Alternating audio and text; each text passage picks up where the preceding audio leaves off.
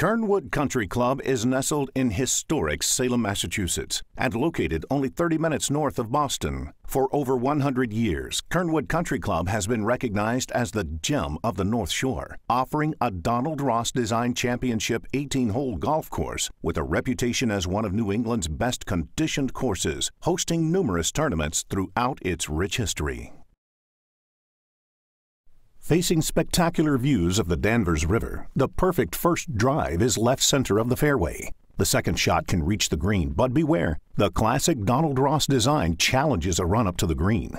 A layup requires a precise second shot about 100 yards from a narrow, deep green. A poorly struck approach may result in a difficult two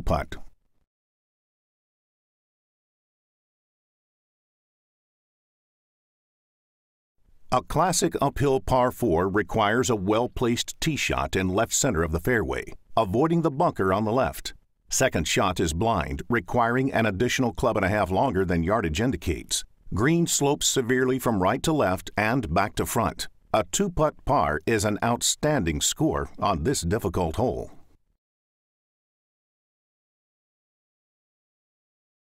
A well struck drive down the middle will catch the slope and run to 120 yards from the green. Second shot plays one club shorter than the yardage indicates. Slope at the front third of the green makes short approach shots very difficult.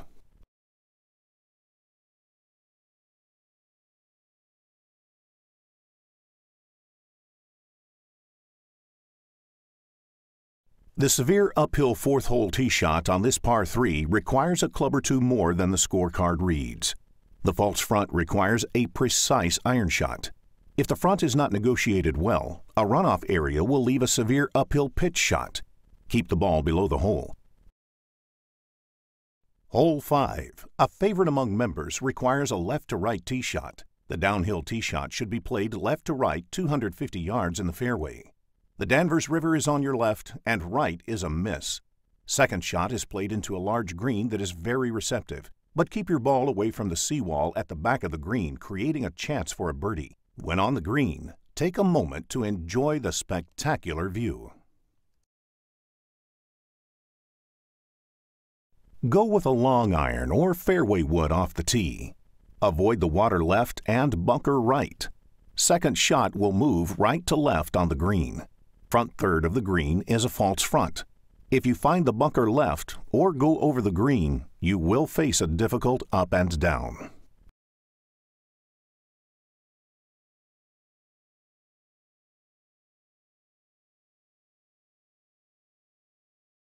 The seventh gives an opportunity to let your drive fly off the tee.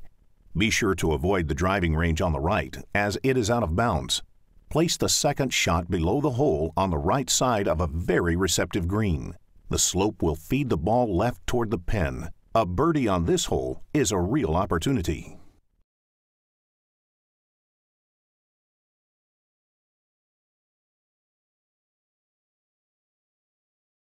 A sleeper dogleg left that appears innocent but has the teeth of a tiger.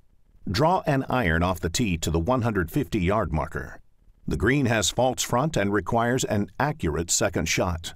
Par is a very good score.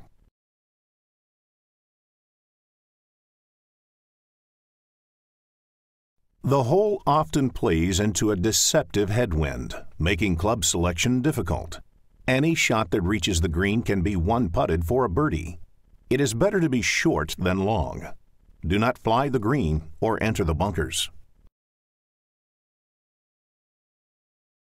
A straight tee shot from this elevated tee will leave you with a blind second shot. Favor the right side when carrying the hill in front of you. Keep ball below the pin. Green slopes from front to back. Ups and downs are easier from in front. Over the green is OB.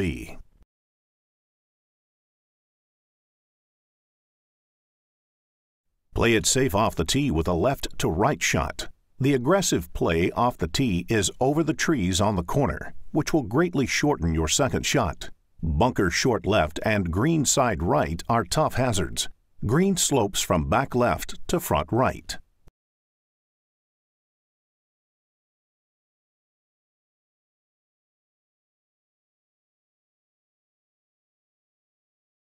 Kernwood's signature downhill 12th hole, a great par 3 guarded by a winding creek. Wind and trees that surround the putting surface can make club selection very tough.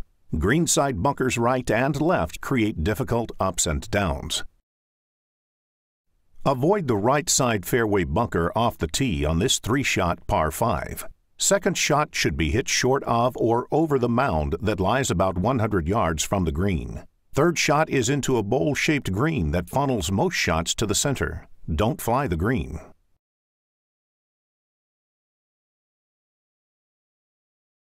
The downhill 14th is a difficult driving hole with out of bounds on the left and trees right. The second shot offers a downhill lie to a turtleback green and is one of the most difficult shots on the course. The incredible green surface creates many three and four memorable putts. The 15th is often considered the most picturesque hole on the course. Place a three wood or hybrid off the tee onto the left side of the fairway. Trees block out any tee shots ending up on the right side. Bunkers guard in front and to the left of the green. Wind is usually in your face, making second shot longer than yardage indicates. Green slopes right to left and often requires a shot to land to the right of the hole. A signature Donald Ross gem. The dogleg left that makes a draw off the tee a must. Avoid the tidal marsh on the left. An uphill second shot that plays into an easterly wind requires at least one club longer than the yardage indicates. Stay below the hole. Green slopes severely from back to front. A par on this hole is an excellent score. An uphill par 3 with a deep bunker short right. Aim toward the center of the green and hope you have the correct club. The front third of the green is a false front that creates tremendous backspin. Distance control and club selection are at a premium here.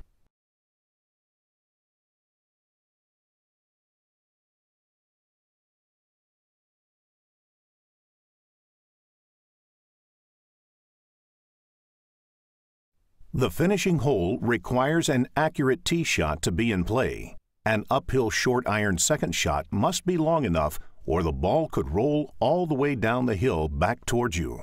Anything right will guarantee a bogey. The green is built right to left with the surrounding terrain moving left to right. Good birdie opportunity to sink a one putt for a win.